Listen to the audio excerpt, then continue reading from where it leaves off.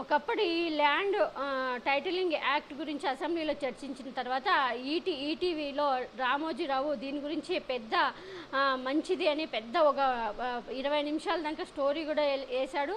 ఇప్పుడు చంద్రబాబు నాయుడు ఆదేశాలతో ఇప్పుడు రోజు ఆ పెద్ద ప్రచారాలు తప్పుడు ప్రచారాలు చేస్తున్నాడు పేపర్లో వేస్తున్నాడు. కానీ దీని గురించి ఇది చట్టం చాలా మంచిదని తన ఛానల్లోనే వేశాడు.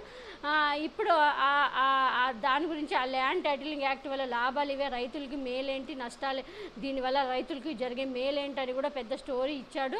ఏపీలో ప్రస్తుతం land acting land titling acting చుట్టూ జరుగుతున్న రచ్చ అంతా ఇంత కాదు. రాష్ట్రంలో అధికారంలోకి రావాలనే ఆకాంక్షతో కూటమి నేతలు ఈ యాక్ట్ విషయంలో చేస్తున్న దుష్ప్రచారం అంతా ఇంత కాదు. టీడీపీ ఫేక్ ప్రచారంపై సిఐడి ఇప్పటికే విచారణ మొదలుపెట్టగా చంద్రబాబు నాయుడు ఏవనగా లోకేష్ ఏటుగా ఎఫ్ఐఆర్ నమోదు చేయడం జరిగింది. ఐవీఆర్ కాల్స్తో టీడీపీ దుష్ప్రచారం చేస్తుందని వైసీపీ నేతలు ఈసీకి ఫిర్యాదు చేశారు. ఏపీ ల్యాండ్ టైటిలింగ్ యాక్ట్ అమల్లోకి వస్తే భూమితో పాటు ఆ భూమి హక్కుదారు ఎవరో రిజిస్టర్లో నమోదు చేయడం జరుగుతుంది. పేర్లతో పేర్లలో వ్యత్యాసాలు తేడాలు తప్పులు ఉంటే ఆ సమస్యలను చట్టం ద్వారా పరిష్కరించుకోవచ్చు. టై ఈ టైటిల్ రిజిస్టర్ను కన్ కన్క్లూజివ్ రిజిస్ట్ రిజిస్ట్ రిజిస్టర్ రికార్డుగా చూపించే అవకాశం ఉంటుంది. ఈ చట్టం అమలు చేయడం ద్వారా భూముల యజమానులకు భరోసా దక్కుతుంది. ఈ చట్టం అమలు ద్వారా భూ వివాదాలు దాదాపుగా పరిష్కారం అవుతాయి. జిల్లా స్థాయిలో ఒక ట్రిబ్యునల్ రాష్ట్ర స్థాయిలో ఒక ట్రిబ్యునల్ ఏర్పాటు చేయడం ద్వారా ఈ చట్టంతో భూ సమస్యలను పరిష్కరిస్తారు. ఈ చట్టం అమలు వల్ల భూములు అమ్మినా కొనినా మోసపోయే ఛాన్స్ ఉండదు. ఈ చట్టంతో భూమికి భద్రత క- లభిస్తుంది. గతంలో రామోజీరావు సొంత పత్రిక సొంత ఛానల్లో కథనాలు వచ్చాయి. ఆ కథనాలకు సంబంధించిన ఆధారాలు సైతం ఉన్నాయి. అప్పుడు పాజిటివ్గా ఇప్పుడు నెగిటివ్గా ల్యాండ్ టైటిలింగ్ యాక్ట్ గురించి ప్రస్తా ప్రచారం చేస్తున్నారంటే రామోజీరావు అసలు ఉద్దేశం సులువుగా అర్థమవుతుంది. కూటమి అధికారంలోకి వస్తే మాత్రం చట్టాన్ని ఖచ్చితంగా రద్దు చేస్తుంది. ఎందుకంటే ఈ చట్టం పేరు అడ్డం పెట్టుకొని కూటమి రాజకీయాలు చేసింది. కాబట్టి ఈ చట్టానికి కూటమి వ్యతిరేకంగా అడుగులు వేస్తుంది. ఈ చట్టంకి సంబంధించిన యూట్యూబ్ వీడియోని రామోజీరావు డిలీట్ చేశారంటే ఈ చట్టం విషయంలో టీడీపీ వైఖరి ఏ విధంగా ఉంటు ఏ విధంగా ఉందో సులువుగా అర్థమవుతుంది. ఎందుకంటే వాళ్ళు చేసే తప్పుడు ప్రచారం కాబట్టి అందుకే భయపడిపోయారనమాట అందుకే ఇమ్మీడియట్గా ఎప్పుడైతే ఈ ట్రోల్స్ చేసే తెలిసిపోయేసరికి దొరికిపోయాడు రామోజీరావు. ఇమ్మీడియట్గా సోషల్ మీడియా చాలా యాక్టివ్గా ఉందని తెలుసు. వైఎస్ఆర్సీపీ కూడా వైఎస్ఆర్సీపీ చాలా యాక్టివ్గా ఉందని తెలుసు. ఎక్కడున్నా అది యొక్క ఆ గొయ్యలు యాడ్ దాక్కున్నా ఎలకను కూడా పట్టుకొని వచ్చే టైపు వాళ్ళు చేసే తప్పుడు ప్రచారాన్ని ఇప్పుడు పయావుల కేశవ్తో ఎలా చెప్ పయావుల కేశవ్ వీడియో ఇప్పుడు ఎలా వచ్చిందో తెలుసుగా. ఏంది నాలుగైదు రోజుల నుంచి అబ్బో నిద్రపోయారో లేదో తెలియదు చంద్రబాబు నాయుడు పవన్ కళ్యాణ్. అట్లా దృష్టిలో చూడండి. టీవీలోనే వచ్చింది. టీవీ ఇప్పుడు ఈ వీడియోని డిలీట్ చేసేసారు. భద్రత కల్పించే టైటిల్ గ్యారంటీ చట్టం. రామోజీరావు ఛానల్లోనే ఈటీవీలోనే ఇది వేశారు. ఇప్పుడు దీన్ని డిలీట్ చేసేసాడు. దెబ్బ బెదురుకొని. అవుతోంది ఆంధ్రప్రదేశ్లో ఇప్పటికే ఇది అమల్లోకి వచ్చింది కూడా. మీకు భూమి ఉంటే అది పట్టాదారు పాస్ పుస్తకంలో కానీ లేదా ఆన్లైన్ రికార్డులో కానీ నమోదై ఉంటుంది.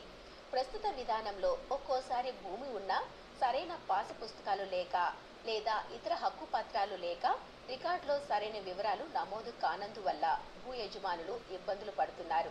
కానీ కొత్త చట్టాన్ని అనుసరించే భూమి హక్కుదారులు తమ వివరాలను నమోదు చేయించుకోవాల్సి ఉంటుంది.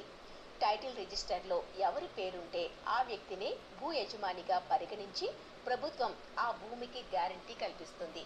టైటిల్ గ్యారంటీ చట్టం పూర్తి వివరాల గురించి హైదరాబాద్కు చెందిన ప్రముఖ భూ చట్టాల నిపుణులు ఎం సునీల్ కుమార్ నుంచి తెలుసుకుందాం. భూమి ఉంటే ఏ రికార్డు ఉండాలి? ఏ కాగితం ఉండాలి?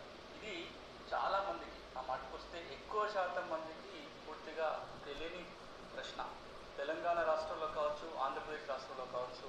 ఇది ఈనాడులో ప్రచారమైంది. ఇప్పుడు ఈ వీడియోని చంద్రబాబు నాయుడు ఆదేశాలతోనేమో మరి చంద్రబాబు నాయుడుకి మళ్ళీ ఇంక చంద్రబాబు నాయుడు తప్పంతా బయటపడుతుంది. చంద్రబాబు నాయుడు బొక్కలన్నీ పగిలిపోయేటట్టున్నాయని ఇమ్మీడియట్గా డిలీట్ చేశాడు. కానీ అప్పటికే డౌన్లోడ్ చేయాల్సిన వాళ్ళు డౌన్లోడ్ చేసేసారు. ఈ వీడియో ఇప్పుడు హల్చల్ అవుతుంది. ఇప్పుడు దీన్ని